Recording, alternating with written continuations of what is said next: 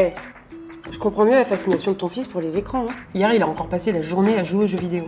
Tu fais quoi là encore? T'envoies un texto? Ah non, t'es sur le bon point. Non mais Greg, c'est du sérieux. On passe notre journée à expliquer aux clients que l'utilisation intensive des écrans est nocive pour les petits. Chez nous, on fait n'importe quoi. Oh, faut pas exagérer non plus. Et puis, euh, c'est plus un bébé. Et tout ça, c'est juste une question d'hyper précaution. On ne sait pas vraiment. Ah ouais, eh, regarde ça. 90% des moins de 20 ans sont myopes en Asie. C'est de l'hyper précaution Fake news. Tu sais quoi, je vais t'inscrire à la Simo Academy, ça t'apprendra. Cette année, le thème c'est Vision et enfants. Il va y avoir des conférences qui vont être gérées par des médecins et des chercheurs en neurosciences.